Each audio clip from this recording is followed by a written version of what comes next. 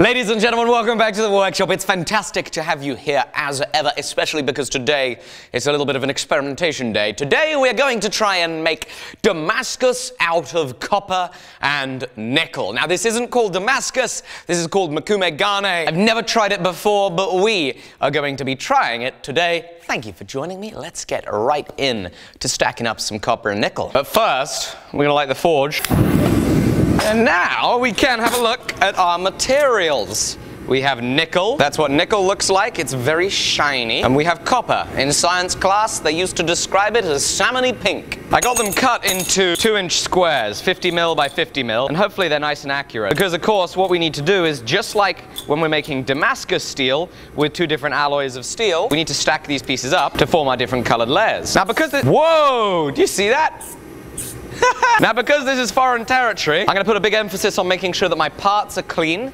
And for that to happen, I'm going to clean down this little surface. And I'm also going to clean down my parts. We'll do that with a quick lick of acetone. Flip them all over. More acetone. And now we're going to begin stacking them up. I think that's enough for the first attempt because this stuff is rather expensive. So first and foremost, we're just going to see if we can treat it much like normal Damascus steel. So we'll see if we can fusion TIG weld across the seams, see if that holds up to then heating up before we actually fuse the pieces together. Here we go.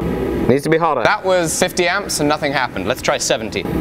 Slight bit of fusion, we'll try 90 amps. Oh, that's a little better. Let's try hotter. I'm gonna do a big jump, 120. Oh, there we go. That's much nicer. So we got some good fusion together there at the 120. So I think we'll do that. All four corners, all four sides. Should keep it together while we heat it. I know lots of you are screaming right now, but this is a one, two, three block that I dropped a few times, so it's no good anymore.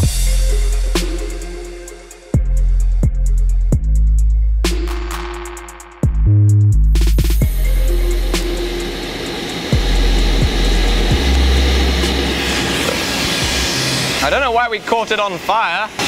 There we go. So now we've got this billet stacked up. We need to put it in the fire. The trick is, the forge is hotter than the melting temperature. Oh boy. Now, as I've said, I've never tried this before, but the basic understanding I have of what it is that we're trying to do here is get those pieces of copper and nickel so close to the melting temperature that when we hammer them or press them together, they'll fuse, just like with Damascus. Except I think that we're a lot more likely to melt these things than we are with Damascus pieces. So what I think I'm gonna do is just like when we heat treat a big sword, we're gonna make the heat of the fire a little less aggressive with this piece of tube. So now that the tube is hot, into it we go with our stack of copper and nickel. Hopefully we don't melt it. I'm gonna leave this camera pointing right at it in case we do. Please not make a puddle in the forge. Oh, there's a green flame. Can you see that green flame? You can't see the green flame. Okay, but I think we might be coming up to temperature. So it's starting to become a very dull red, just slightly incandescent. I think I'm waiting for the surfaces to become just a little glazy. Okay, it's coming up to a little bit of a light orange, which is soon going to be approaching the temperature at which we melt that copper. Let's have a feel with this little stick here. Doesn't feel tacky at all, and obviously, I don't know what I'm doing, but I guess I would feel it was a little tacky if it was ready for the fuse for the weld. Right, I'm gonna change lenses and we're gonna give this a go. So it's still a light orange, we're gonna give it some light tap. It's a very glazed surface. Gently start giving it some light touches with the power hammer. It's now starting to turn to a dull orange. Let's see what we can see from that. It's difficult to tell just from looking at it whether it's fused. I certainly know from my experience at Damascus, this doesn't look, you know, this, this doesn't look abnormal even if it was fused. I'm just gonna take an aggressive rasp stroke just on the sides here and see if it comes apart at all by doing that. So I've not noticed any signs of it coming apart from an aggressive stroke. Try and poke a chisel in it. Well, it's certainly breaking apart the layers. It's not coming apart quite as easily as I'd imagine it would if it hadn't taken to any degree. I think it's solid enough to try and keep working. And I think that that temperature was not necessarily too cold, because I have a sneaking suspicion that it would move a lot more if it weren't fused at all. So I'm going to rasp off this corner. And we'll go straight back in the forge. But I'm not even concerned about the tube this time. It seemed like it was hot enough to not have to worry. Okay, I think we're about ready. Moment of truth. What happens if we turn it sideways? Wow! It looks like it stayed together. That's amazing! Right, let's drop it back in the fire and heat it up again. How cool is that? It kind of lights up in this weird way, and I can't tell if it's the flame or the copper doing something weird, but it's almost glistening. And then it stopped, right as I described it. There we go, look at that. Right, now let's try working it sideways, a good deal.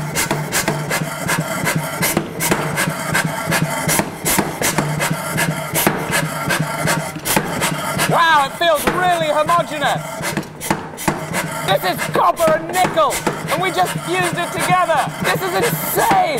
It looks like sadly some slag from the bottom of the forge got stuck to it while I was hammering, and it made that big impression. I think a cleaner forge floor would be very handy for this operation. So I put a block of steel on the floor. Oh, and I missed it. I will heat it up on there, see if that keeps it a little cleaner. Right, let's forge it out some more. Uh-oh, that's not good. Maybe I'm being a little too aggressive.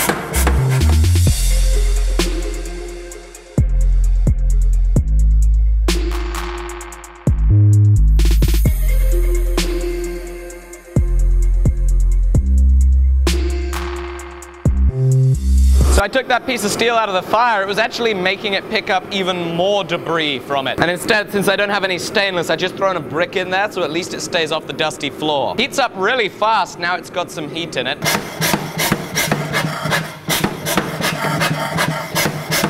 So a testament of how well it's held together is going to be twisting it. This falls apart when we twist it. We know it's not very good it hasn't stuck together and we've got to change something up. If it stays together, then it could be a little bit more promising. So I'm going to get on here with a wrench and start twisting. Right, let's take another heat. Certainly stiffens up a lot as it cools.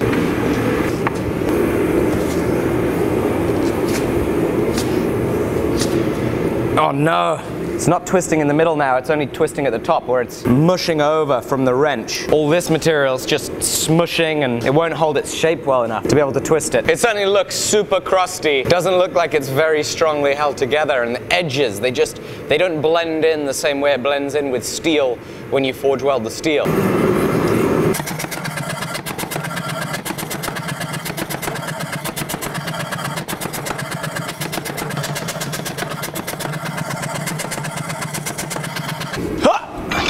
Let's try some more twisting. Hoop, camera in the way. No, it just mushes it again. Oh boy, that's ugly. Try it one last twist. Oh! Uh-oh. Oh no, just rounded it. Oh well. that is crusty. Ugh. It's all right, let's flatten it down.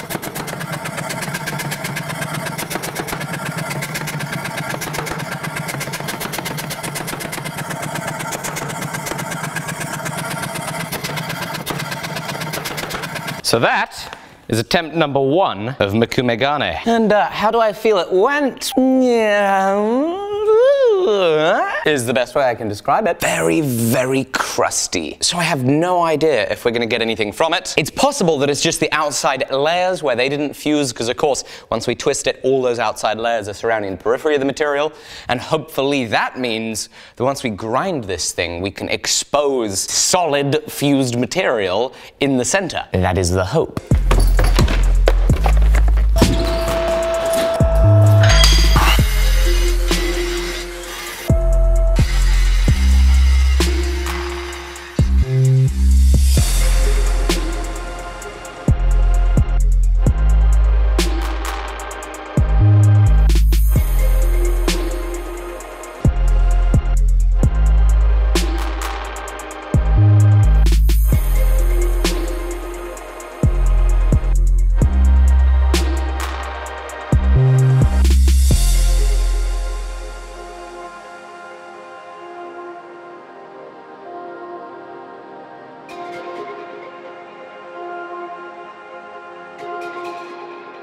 That is pretty freaking awesome.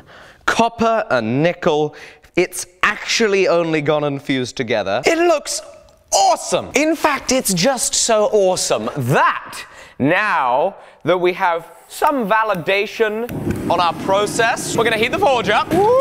And we are gonna make up one big, glorious, expensive stack of copper and nickel. Let me tell you, nickel is expensive. Holy granola, that stuff is not cheap.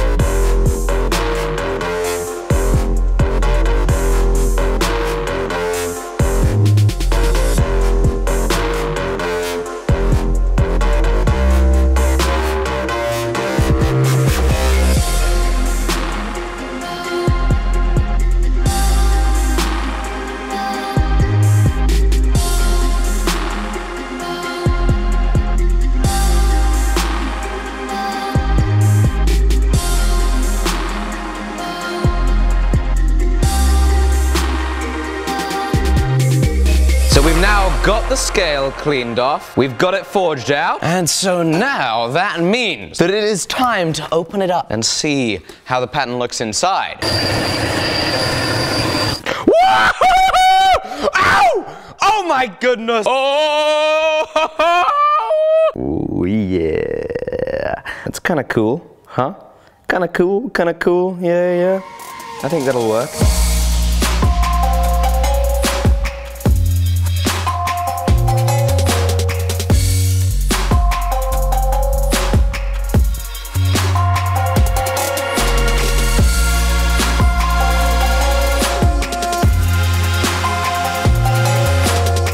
Check it out! I think it's fused! I was terrified. I was concerned that it only fused because we had copper the first time, but I really think it's done it. I think it's together, and look at how beautiful that pattern looks.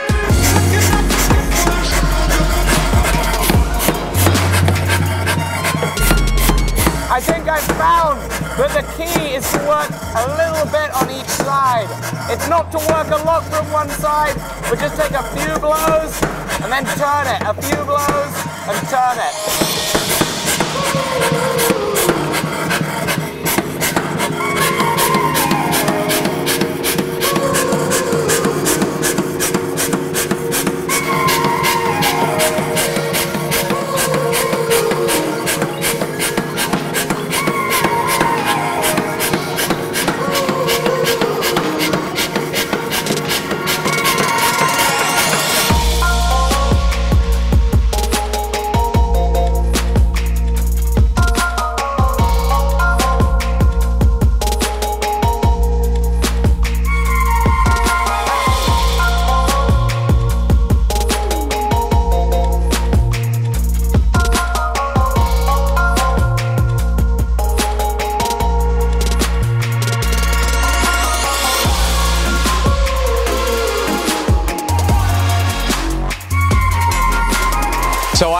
This full bar and I am shocked and surprised that it wasn't cracked the whole way through. But the pattern on this piece is just incredible as you've seen. At this stage it's on biased W's which means stacking this up four ways into a square will make an explosion pattern. We're gonna leave that for another day. I'd love to hear what it is that you'd like me to make from this piece of Mokume Gane. I've also got these cool offcuts. Look, it's my hair. And of course attempt number one, that beautiful piece of flat stock of uh, Mokume Twist. So drop me a comment and let me know what you want me to make from it. And of course, look at that shirt. This is the process tee. It just came in for me today. It's got forged on the right hand sleeve with my touch mark.